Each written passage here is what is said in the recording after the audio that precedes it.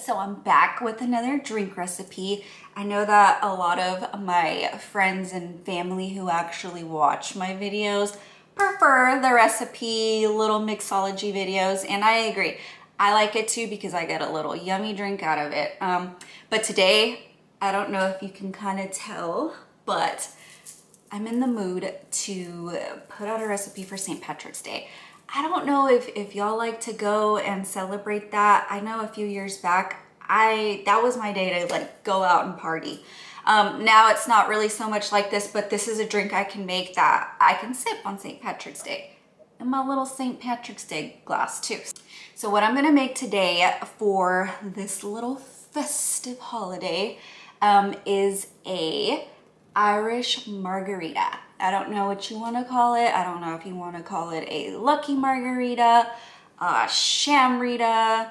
Um, there's so many different ways this could be made. This is my version. This is my way. So a little uh, backstory to this. A few years ago, I think it was like a few years ago, I went to New Mexico to a Chili's, okay? Um, I was like one of the only restaurants open at that day. Anyways, besides the point.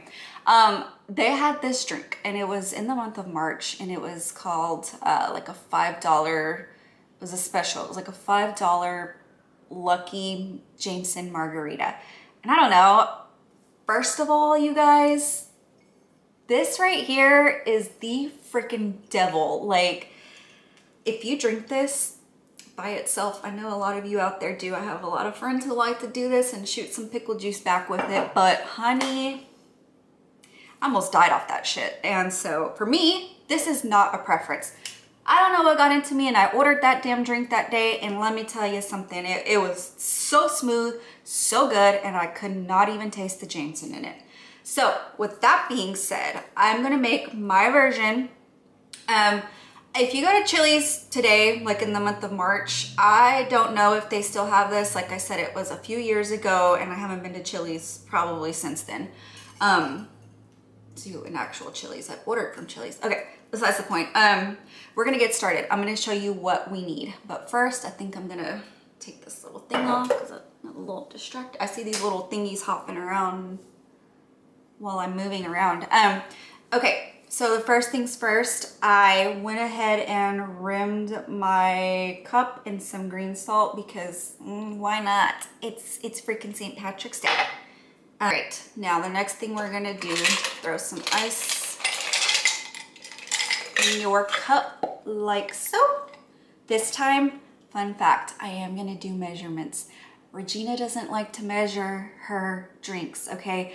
I eyeball it. If it looks like it has enough alcohol, it does, okay? Nobody likes a weak drink either. Um, and let me tell you something, I just made this a little while ago and it, it's not weak whatsoever. A few of them and it'll have you on your ass. Um, okay, so anyways, ice in your shaker.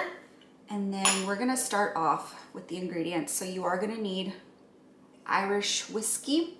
Now, I'm doing Jameson because that's what I originally had when I tasted this drink. Um, by the way, it's a little bottle because like I said, this is not gonna get drink or used by me. Um, all right, so then you're gonna need a tequila blanco. And this is the one that I'm using because this is one of my favorites. For this to be a lower end in the spectrum as in dollars, this is the best tequila. I bought this four or five years ago and I have not. Um, I, like Patron for my margaritas. I like Don Julio, but if I just only want to spend 30 bucks on a bottle, this is what I'm going to use. Um, however, I do know that the recipe, the original recipe calls for Luna Azul. It's okay. That's also a really good mar uh, tequila, but this is what I'm using right now and I'm gonna tell you it, it's it's freaking good. Um, the other thing that you're gonna need is some citrus juice. This is just lemon lime juice. Or, my friends, you can just use sweet and sour mix. Um, it's the same thing. However, I like to squeeze my own lemon and lime. It's, it's not that it's not that big. You will need one lime each. One lemon, one lime. All right, so let's get started. So you're gonna put your ice in the cup and then we're gonna go ahead and crack open the whiskey, the Irish whiskey. we're gonna do one ounce. Ooh, okay, okay. The smell of this shit. okay. Now what we're gonna do is do two ounces of tequila. Again, this can be your choice. I'm doing Blanco, but um, I, I prefer Blanco and margaritas anyway. We're gonna go ahead and do two ounces. So it's one ounce Jameson or Irish whiskey and two ounces of your choice of tequila. Uh, I don't know if I said it, but uh, this is called Espolon. I don't even know if you're able to see it. And then we are gonna go ahead, like I said, I did squeeze limes and lemons in here just to make it um, a mix.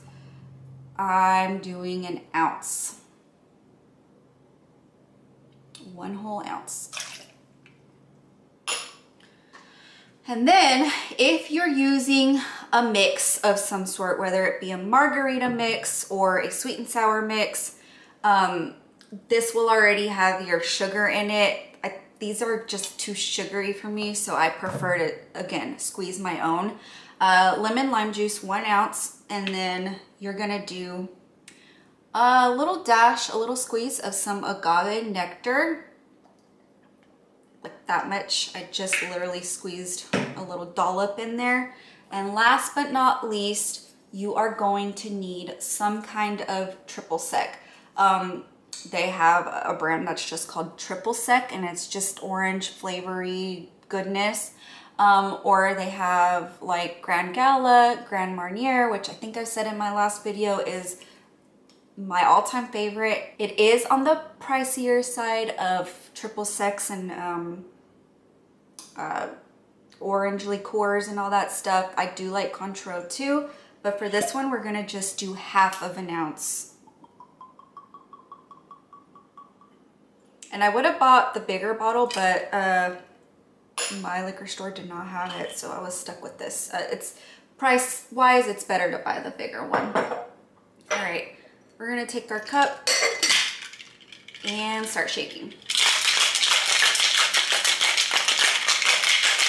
Give it a really good shake.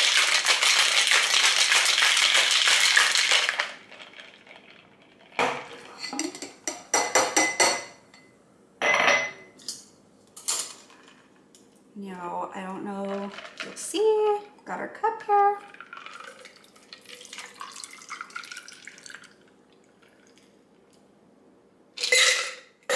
Now let me tell you, it's good just like this. However, here's my little tip. Anytime I make a margarita, it doesn't matter who it's for. I like that little fizz. I like that little, I don't know. I don't know how to explain it. But what I like to do is I just like to just top it just like that. That's all. Well, let's give it a taste test.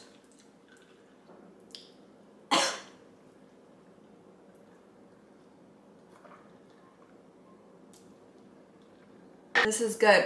I need a straw because salt is very uh, sour for me, but mmm, that's good. I want to like drink the whole thing, but all right. So now that we're done with that one, we're gonna do one more. This is just a little uh, fun one. You're gonna need a champagne flute, any kind you want. You're also gonna need blue curacao, curacao. I say it either way, but fun fact, at the liquor store yesterday, all they had was the, the one with alcohol, but it was like the big one, and, and this is nothing but sugar blue curacao is, even if it's got the alcohol in it, it to me it's like, uh, I don't know, you can make like blue hurricanes with it and all of that good stuff. But for me, it's not a drink that I typically like for myself. Um, so I just bought this one because it's solely gonna be used for color. All right, So if you could tell, it's literally just a green mimosa. That's what we're making for our last little and final drink. Um, Korbel is one of my most favorite champagnes. I know it's not high end, it's, it's not um, or anything like that. For me, this is what I buy and it works just as well. Um, so typically when I drink mimosas, I drink it with grapefruit juice. However, in this case, I am doing um, orange juice just because the color is going to come out a little bit better than if I were to do grapefruit juice. Um, I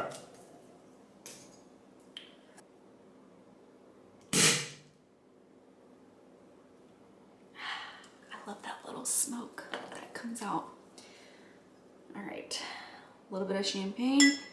It's not rocket science on how to make a mimosa, you guys. It's really not. Again, when I drink mimosas, it's um, champagne. It's like, I'll have a mimosa, but hold the, hold the juice. Orange juice.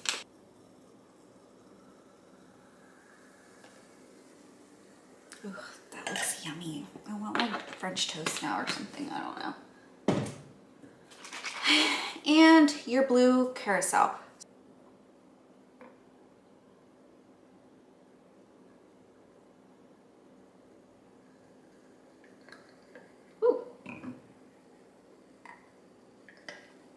Right. It's pretty.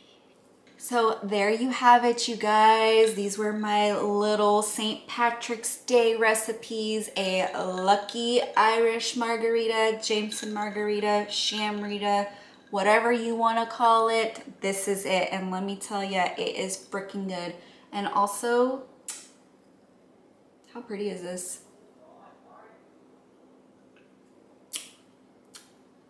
Mmm. Mmm. This was fun. I love it.